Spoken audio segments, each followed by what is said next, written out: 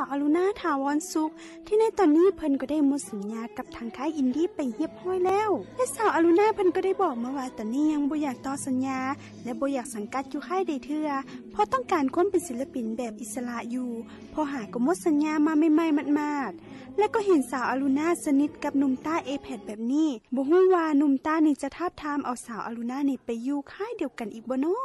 เจ้าสำหรับเรื่องของอลูนาและอ่าบริษัทอินดี้ได้ขอร์ดเนาะจริงกันยังหักแพงกันคือเก่าแหละเนาะเป็นครอบครัวคือเก่าแต่ว่าสัญญาหันได้หมดแล้วฉะนั้นละก็มีข่าวออกไปว่าลูน่าออกจากอินดี้ที่จริงแล้วแมนสัญญาหมดและยังไม่ได้คิดที่จะต่อสัญญาเทือเนาะก็จะมีอีกหลาย ๆ อย่างหลายเงื่อนไขเนาะเพราะว่าตัวลูน่าเองก็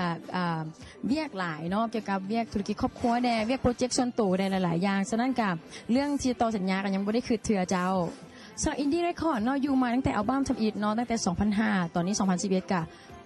ห้าหกปีแล้วเนาะห้าหกปีอรุณาเมื่อสัญญากับอินดี้จะไป UKPY เพราะว่าสนิทสนมเป็นกับน้องๆ UKPY หลายๆ โดยเฉพาะใต้แพ็กเนาะกาคือหู้กันแหละกับใต้แพ็กล่ะใต้แพ็กเองก็เคยอยู่อินดี้แล้วก็เคยร่วมงานกันเนาะฉะนั้นเรื่องสนิทสนมกันเป็นเรื่องธรรมดาเนาะแต่สำหรับวาซีไปย้ายไป UKPY บขอคอนเฟิร์มว่าบ่ได้ย้ายไปอยู่ค่ายใดเนาะบ่ว่า KPY หรือว่าค่ายอื่นๆเนาะแต่ว่าสัญญาของอินดี้ได้หมดหมดลงแล้วซื่อๆเจ้า ตอนนี้ก็บ่ได้สังกัดค่ายอะไรกับพยายามสะสมผลงานเนาะเริ่มเริ่มเขียนเพลงตืมกระเบื้องตามกำลังตัวเองว่าสามารถผลิตผลงานได้ได้หลายซำใดเนาะและจะมีกำลัง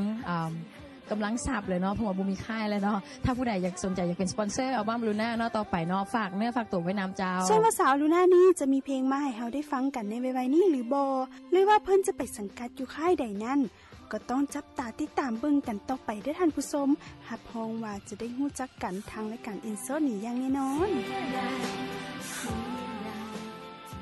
แต่ว่าตอนนี้เราไปพักชมสิ่งที่น่าสนใจกันก่อน และจึงกลับเข้ามาในระยะต่อไป